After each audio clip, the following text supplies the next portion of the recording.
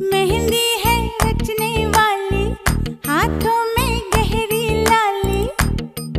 कह सखिया अब कलिया।